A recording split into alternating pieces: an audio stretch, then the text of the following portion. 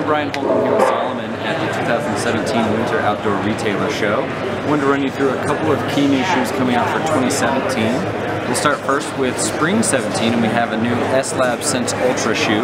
This is the shoe that was designed for and inspired by Francois D'Haene, the French ultra runner.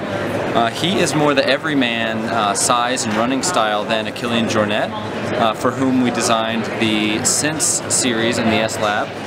Uh, this is a more this is more a shoe that's built for the everyman runner that needs an ultra shoe that's fast and light, but can't necessarily run near a zero drop uh, with very little cushioning. This shoe is a 9 mil drop.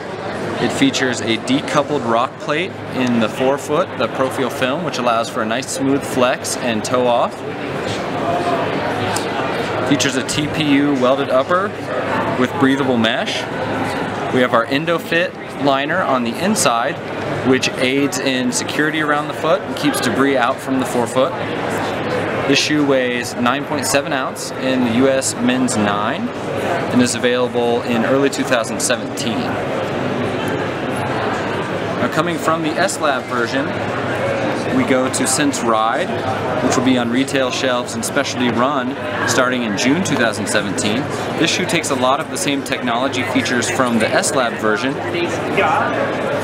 but brings the price point down and changes the fit profile to appeal to more of uh, more of a consumer base. So again, we have premium wet traction Contagrip outsole. That's Salomon's stickiest compound.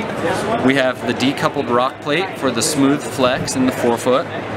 In this shoe, we also have a full length of our Opal technology, which is an insert in our EVA rubberized midsole, which cuts the weight of that midsole by roughly half keeping this shoe at 9.7 ounces with an 8 mil drop.